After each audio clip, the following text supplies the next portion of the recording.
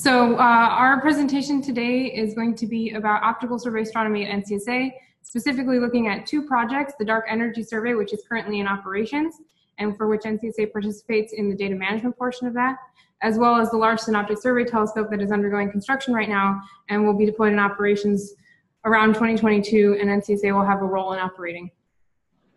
So for the outline of the talk, first we'll talk a little bit about the scientific motivation for the projects that NCSA is participating in in survey astronomy, and talk a little bit about what survey astronomy is and the statistical science uh, that, uh, that goes along with it, and then uh, elements of what it takes to actually build a sky survey, including the instrumentation data acquisition, uh, the processing of the data, and eventually the, the serving and access uh, for the data for the community. And then we'll talk more broadly about what it means to be part of an organized collaboration and what it takes to manage uh, large-scale science projects. Uh, so to begin, just briefly, uh, NCSA and the University of Illinois have a long history in astronomy, both on the instrumentation uh, aspects of it, as well as on the, uh, the simulation side. So within large collaborations, we've, we've participated in radio astronomy in the BIMA and CARMA uh, collaborations, which uh, ended observing in 2015. And then, as I said, we participate in DES, which uh, began operations in 2013 and will continue uh, observing until 2019. And then LSST, which begins observing in 2022 and extends for 10 years. And we also have a large uh, simulation component at NCSA um, that's gone on since the beginning, since its founding. Uh, because the founding motivation of NCSA was actually that supercomputers could perform uh, the meaningful astrophysics computations that were needed, for example, for black hole uh, simulations. Uh, so the science motivation behind these projects uh, really has to do with dark energy. Uh, dark energy was discovered in the late 1990s with um, the publications that were made by Saul Perlmutter, um, Brian Schmidt, and Adam Riess uh, which studied um, around 50 to 100 supernovae and found that the acceleration or the expansion of the universe was actually accelerating. And so dark energy was the, the term that's, that's been coined to name the physics that will explain why the universe is expanding at this accelerating rate uh, rather than slowing down that we'd expect from the mutual gravitation, uh, gravitational force between all of the, the physical matter in the universe. Uh, in, the, in the US, uh, the Dark Energy Task Force uh, produced a report in 2006 that identified a four-stage observational program to study the nature of dark energy and to determine the fundamental properties of it. NCSA actually participates in both stage three and stage four observational programs. These programs are jo jointly funded uh, by the, uh, the National Science Foundation and the Department of Energy and have uh, significant budgets on the order of 100 million to a billion dollars. So the Dark Energy Survey is a stage three observational program. Its uh, scientific mission is that it's designed to probe the origin of the accelerating universe and to help uncover the nature of dark energy by measuring the 14 bil billion year history of cosmic expansion with high precision. The, the goal is not to determine exactly what dark energy is, but to highly constrain it through a series of probes um, that, that the Dark Energy Survey is specifically designed uh, to use.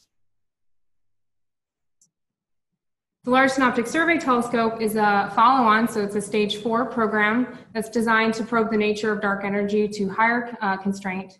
And it is also actually a general, uh, general purpose observatory. So it will also be probing the nature of dark matter, as well as looking more locally cataloging our solar system, exploring the transient sky, looking for th the variable universe, things that move and things that change in brightness, and mapping the structure and the formation of the Milky Way.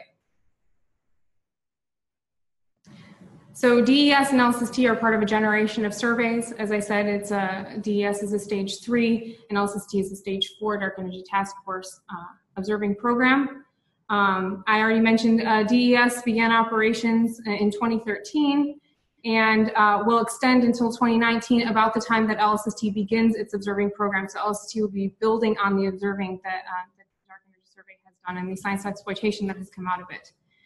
DES observes for a fraction of the year each year uh, because of uh, the nature of the science program. It's looking specifically at the um, outside of the plane of the Milky Way, so it observes a fraction of the time during the year that, that, that, that the Milky Way is not overhead. LSST, because of its general purpose Science will be observing almost every night of the year for a total of 10 years. DES maps uh, about 12%, about an eighth of the night sky. LSST will be looking at covering the entire southern sky, so 50% of, of the uh, entire sky. The total data volume that's generated at the end of the dark energy survey is about five petabytes. And for LSST, because of the amount of data that is being taken and the size of the instrument, we'll increase it to 500 petabytes. Uh, and the number of observed galaxies uh, extends from 300 billion in DES to what is expected to be 20 billion in LSST. And the number of observed supernovae, as I said, the initial paper that discovered dark energy uh, had about on order of 50 to 100 supernovae. DES is expected to find 3,000 supernovae, and LSST will hope to, hopes to find 500,000 supernovae. So hope, hopefully better constraining the nature of dark energy through these measurements. So these, both DES and LSST are uh, sky surveys, and they differ from traditional astronomy in several ways. Traditional astronomy, observational astronomy is very much target driven. So uh, PIs will propose to get time on telescopes to look at specific objects of interest. They have their um, observing program understood at that point uh, when they make these proposals. And so the data sets that are built up are um, kind of patchy, not, not statistically understood as a whole. And the image processing and calibrations of, the, of those data are very custom to the observing programs that the PIs are, are seeking. Um, so the areas of the sky are also not regularly revisited. This is very different from um, the modern survey astronomy, which is much more data driven and optimized for statistical studies. So the goal is to build up large, high quality, and uniform data sets uh, for statistical analysis of objects and to have very well characterized uh, systematics. We revisit this, the areas of the sky uh, regularly to build up a catalog of the same objects and see how they evolve over time. Um, and we produce large sky maps uh, to uniform depth and coverage. The uh, consequence of having a survey is that you can serve many research areas and interests simultaneously, and also to allow for discovery of new objects and phenomena. So it's not necessarily driven by the science that is expected to be gotten, but actually new science could, could, be, um, could be found from these large data sets. So what does it take to actually put together a sky survey? Well, we're going to need a very large and dedicated telescope so that we can collect lots of light and that we can collect it on, uh, we can have an observing program that is uh, specialized for the survey. So if it's a dedicated instrument, it's a dedicated telescope, then we have the time that we need um, to, to get the uniform coverage and depth. We need a camera that has a wide field of view so we can see a lot of the sky at once. And as I said, we need a, uh, an observing plan that, we, um, that will cover the sky uniformly and in an efficient way. And finally, what we'll need is, an, is a system that will capture, process, serve, retain, and manage all the data uh, and make it useful for science exploitation. So that's what the schematic is on the bottom of the uh, slide there.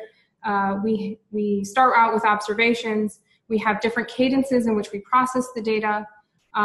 For the uh, annual processing, as you see there, we actually do this many times over and over again as the, uh, the data are better characterized, as the calibrations are improved. Uh, and then we provide access to the data, serve it out to the collaborations and to the community. Uh, scientific analysis can be done on it, and eventually science knowledge is gained. Underneath all of this is a very large uh, uniform production program for data retention and management. So a little bit of, uh, about the instrumentation that is used. DES uses an existing telescope that's uh, in Chile at the Cerro Tololo Inter-American Observatory. It is the Blanco 4-meter telescope. And DES, the uh, project, built a brand new camera to accomplish this the scientific mission. It's a 570 megapixel camera with 62 CCDs, and it has uh, five different filters, so it can essentially see in five different colors and it covers 20 times the area of the full moon with one exposure. So it's a very wide, uh, wide camera that can help to, uh, that is exactly what you need to, to do a, a survey, uh, to, to conduct a survey. And the picture on the bottom left there is actually the, uh, Josh Frieman, the director of, of, the, of DES, or former director of DES, I should say, sitting next to the Blanco telescope. Still current. Still current. Oh, I. On a short fuse. Um, so DES is a five-year survey covering about 5,000 square degrees of the southern sky, or about an eighth of the sky. The sky coverage is optimized for cosmology. It is overlapping complementary surveys like the South Pole Telescope uh, survey so that for calibration uh, mostly um, and to build off of prior uh, data sets. And it specifically avoids the galactic plane uh, because the interest is not in any of the local objects uh, and also to avoid any of the, the dust and obscuration that you get from the Milky Way. Uh, each section of the footprint that you'll see on the, uh, the bottom left of the screen there shows the footprint actually of the sky coverage of DES. Each section of that footprint is observed multiple times in each filter to build up a uniform data set. Certain fields within that footprint are actually revisited every 10 nights um, to conduct a supernova search. So an image is taken, 10 nights later, we go back to the same place and build up a data set over five years to see, to find, um, to find supernovae, specifically type 1a supernovae, which is exactly what's in the picture on the bottom right there. And hopefully this plays. This is a nice little visualization that actually shows um, over, I want to say the first three years of DES operations, the actual chronological um, mapping out of the sky. So you'll see the, the DES footprint there and how we're starting to fill in um, the, the total sky coverage. Mm -hmm.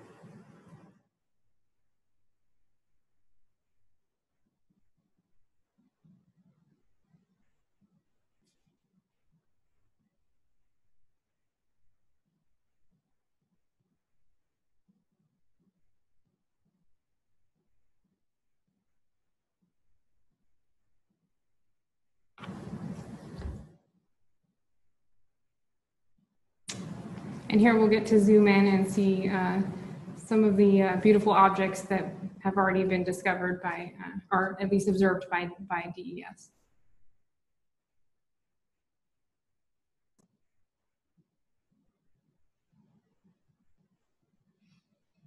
And the depth that you're seeing is really, uh, really the inferred depth by analyzing the objects in multiple colors.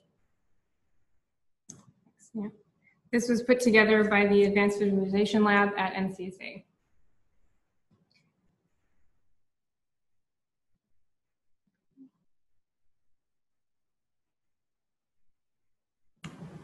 Uh, so LSST, the next generation uh, uh, instrument, is building a brand new observatory just one peak over in, Las, in, in Chile on Cerro Pachon.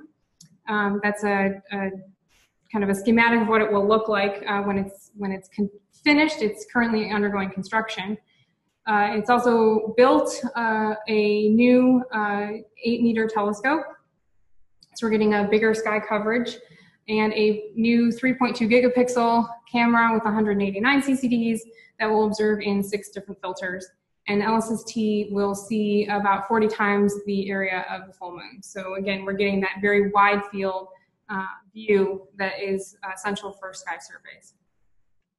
LSST is a dedicated 10-year survey, so it will be observing every single night. It is used, the, the telescope and instrument are used specifically for the LSST mission. And it will cover over 18,000 square degrees, which is roughly the entire southern sky.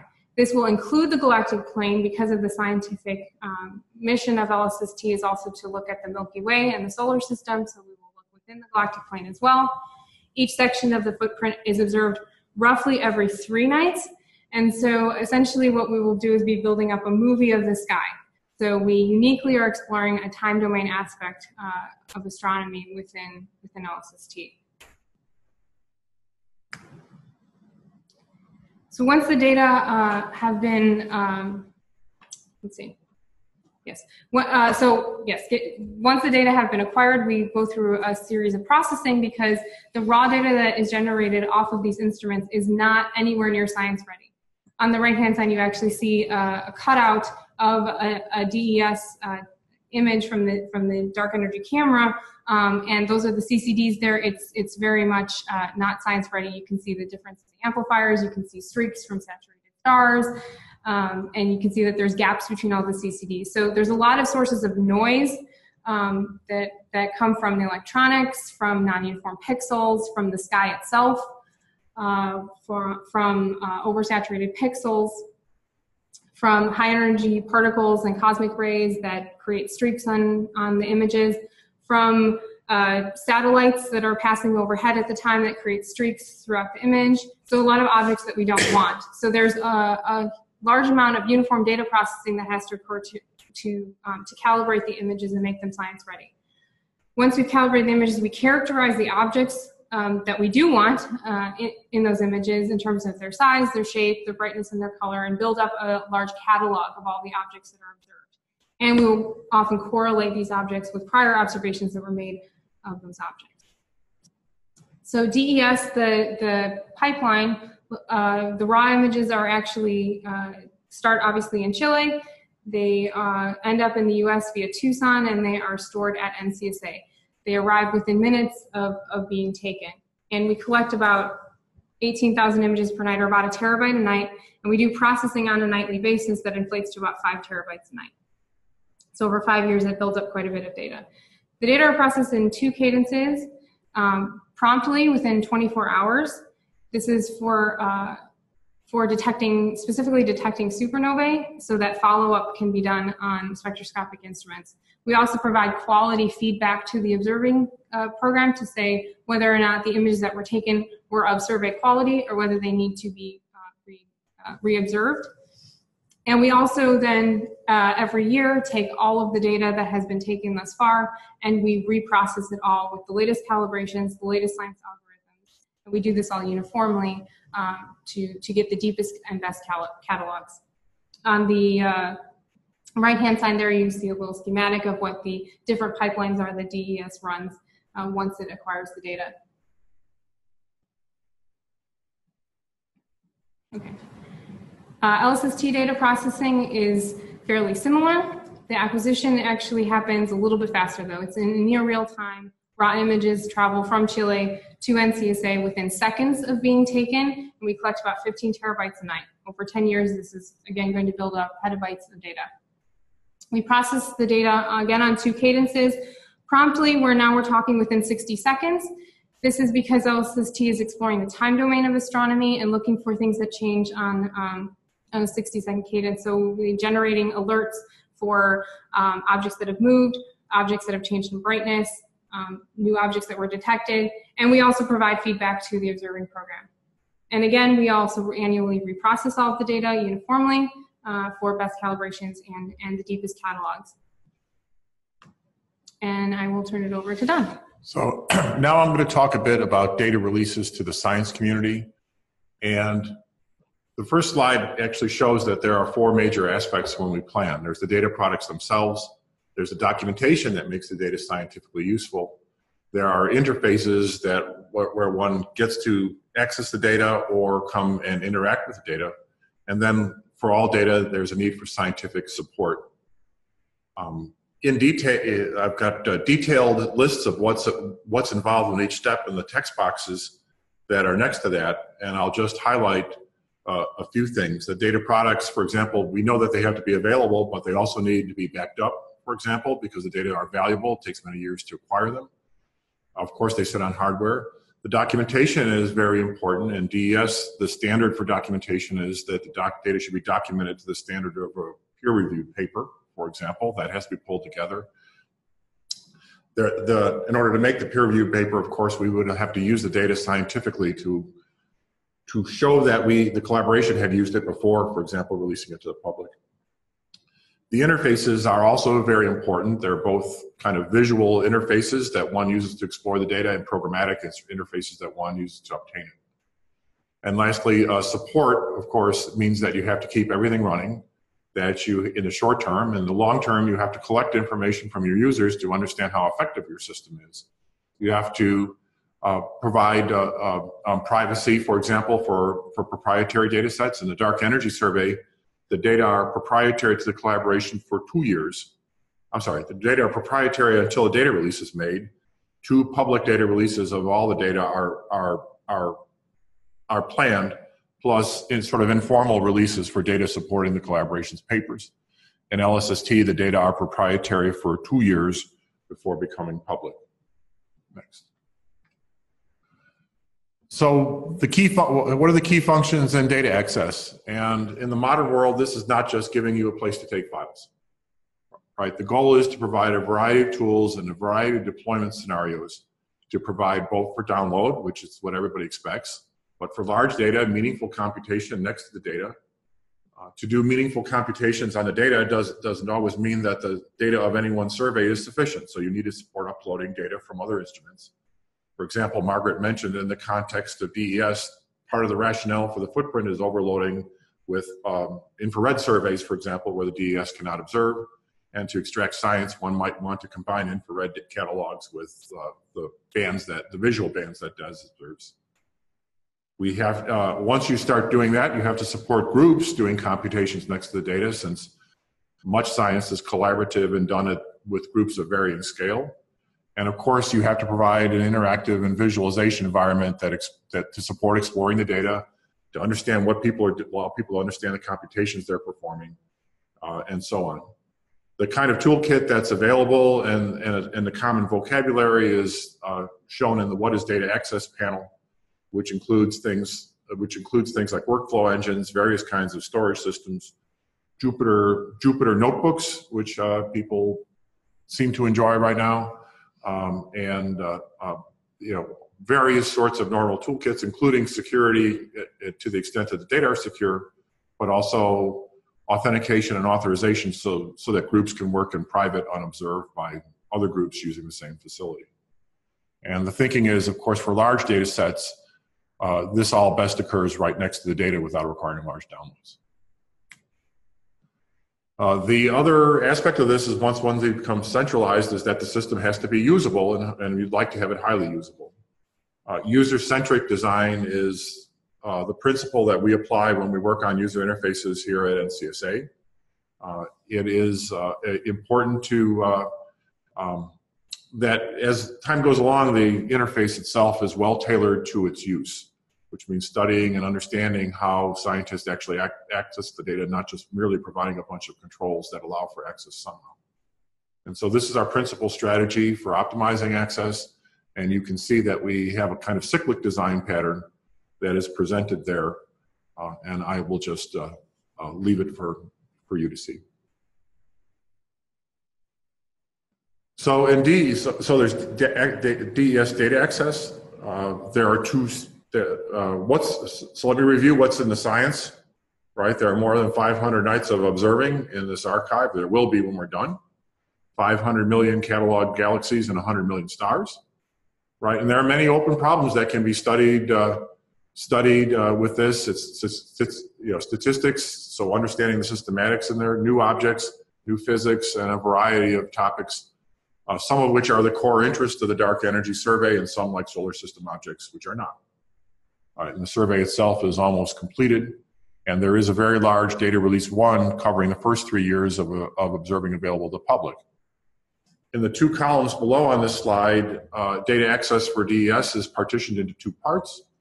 One is uh, the, our self-release of, of data to the, to, within the collaboration.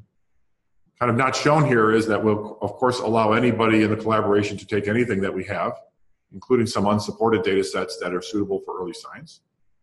Uh, but our prime, uh, a prime structured interface to this is depicted in the picture on the left, which is easy access uh, web interface, which is a kind of astronomer friendly SQL that uh, lets one get into all of our databases. All of DS data catalogs are in a large Oracle relational database, I might as well mention. Uh, Jupyter Lab combined with Easy Access provides a computational environment where people can look at things in notebooks and download codes and run them.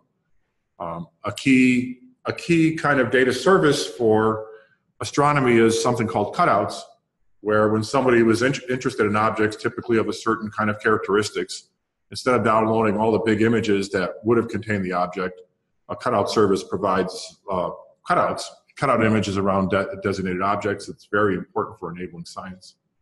The footprint server tells you something about what was observed at what depth with what systematics under what conditions.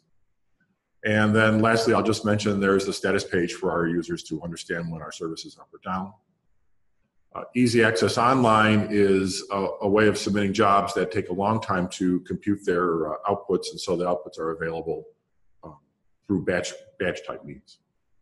Uh, for the public data release, I first want to back up a bit and say that in the dark energy survey, we're collaborative. We have the National Optical Observatories as a, as a partner. We also have a Brazilian group that is interested in scientific data access. The total um, presentation for public data releases involves either software or facilities at each, at each center. The, we serve the data from NCSA with the philosophy of more or less making available the subset of tools that we feel are appropriate for the public that our own scientists use. Uh, the, the, the, the NOAO, the National Optical Astronomical Observatories, also serve the data from their data labs installation in Tucson. So DES public releases are available from two places. Uh, what I'm showing, uh, two places. At NCSA, it's available with the interface semantics that the Brazilian group presents, which I'm not presenting here due to lack of time and space. Uh, and I'm showing uh, what the what the NCSA portal to the data looks like. And the big takeaway is more or less it's more or less a subset of what we let the collaboration do. Uh, DES economics and the, the design era of DES means that we mostly provide access to the data, somewhat in the spirit of a, uh, CAS server, but we don't use CAS server technology. So we're pro fundamentally providing access through catalog searches, downloading images, and cutouts. LSST, on the other hand, has fully implemented the vision of computing next to big data. This is the, uh, if, again, there's on the right, there's a summary that what you know what is what is the penultimate LSST archive like? It's observations from every usable night for 10 years. It's got 18 billion objects in the first year, 40 billion by the end of the survey, 1,500 images per night. There's streaming and static data, streaming in the sense of alerts going out on a stream, static data being the record of the survey. And it's, of course, its target is to capture new physics, moving variable objects, and participate fully in the multi-messenger astronomy era. Uh, the, the panel on the lower left uh, shows the features that are being implemented right now is that there is a science portal that gives kind of a view at a web, lets you browse data at, at uh, through codes that run in your browser on sort of a traditional display. That's supplied, that, that is coded and supplied by uh, IPAC. There's a Jupyter Lab and Jupyter Hub instrument implementation. There are web APIs, RESTful service APIs to go pull data, and the data resources underneath it are enumerated in the panel below that include catalogs and files, the things you would expect. So what's interesting is actually the both DES and LSST more or less more or less had independent designs and independent thinking about their implementations. And if you go back and review those slides I showed you, in fact, you'd find remarkable convergent evolution in the approach and remarkable convergent ev ev evolution in the capabilities, except that does, doesn't, doesn't, can't afford uh, computations next to the data for a community, not part of its mission. Um, we've been thinking about data access in the, in the context of astronomy since the way back, uh, starting with supporting astronomy and astrophysics. And as we worked on these various projects, one notices the tendency to rely on standard stacks with just astronomical customizations, uh, only where needed. And for example, uh, if one is studied, if one's primarily dedicated to statistical studies, and one was interested in understanding statistical anomalies in the data, uh, a very kind of conventional technology stack emerges as pictured on the panel uh, to the right. Uh, a technology stack that we have here at NCSA, and we find many things are beginning to converge to. So now I want to kind of shift gears and instead of talking about fun and data access and getting data like responsibility. So as we mentioned before, the budget, the overall budgets for these projects are in the hundreds of millions, darn near approaching a billion. Uh, all of a sudden this all of a sudden one incurs a lot of responsibilities that one doesn't have if one's doing a small observing program with allocated time on telescope right and also the statistical nature of the processing and the statistical nature of the science demand a kind of regularity.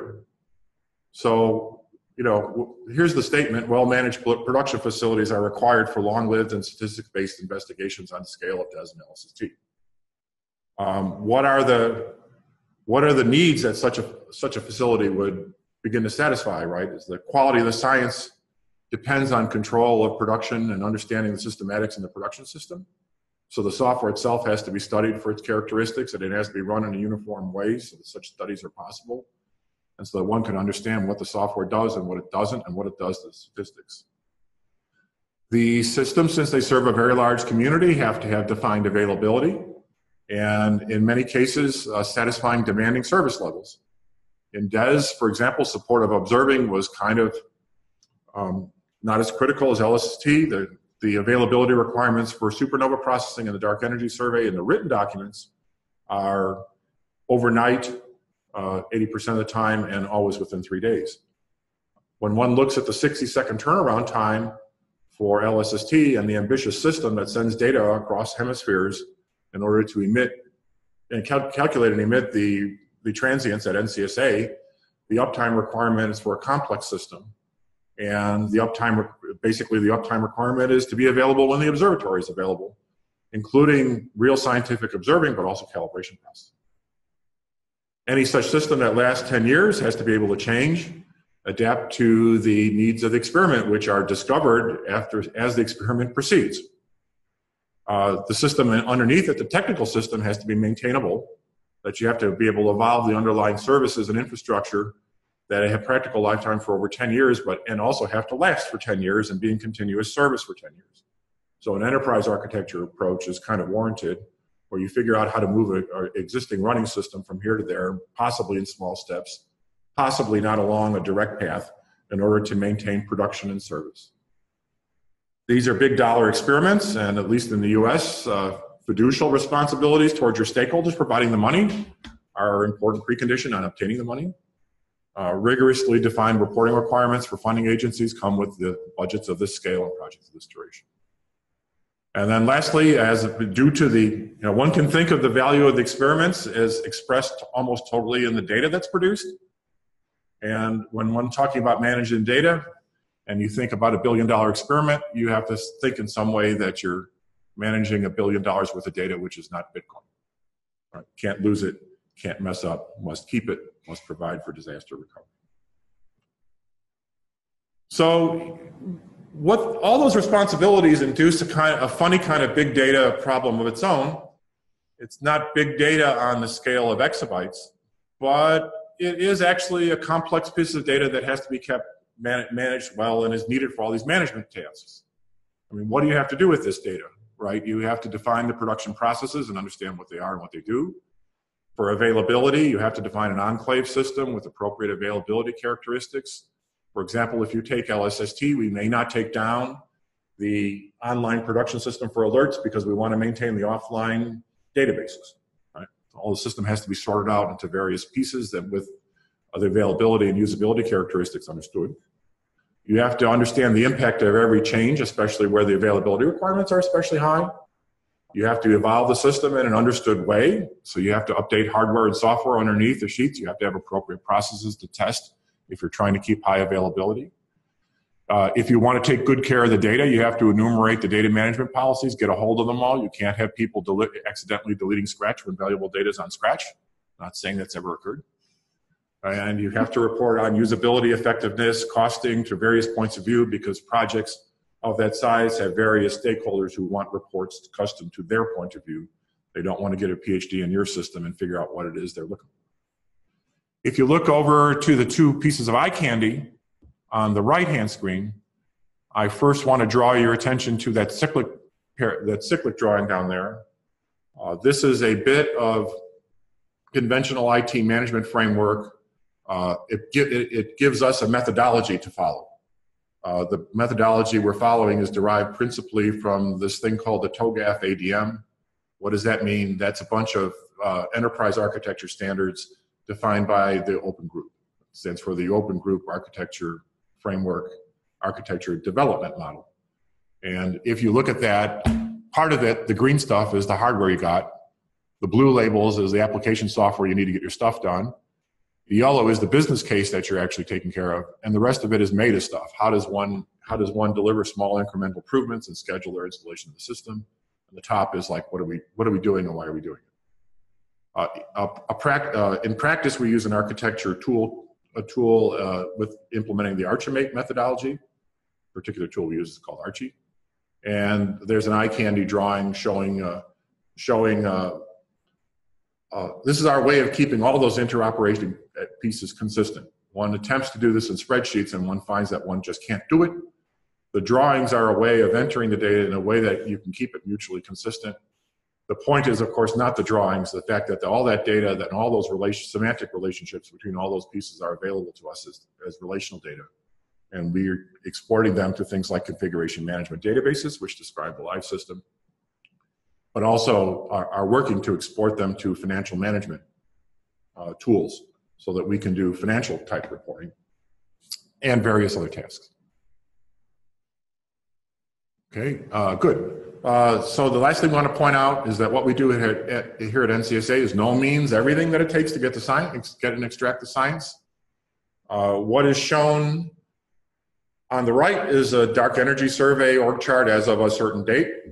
Uh, we are totally responsible for only a few of those boxes. They're mostly in the right green, bright, bright green, sorry. But as you can see, delivering any kind of effective science means that a liaison is needed to a variety of organizations.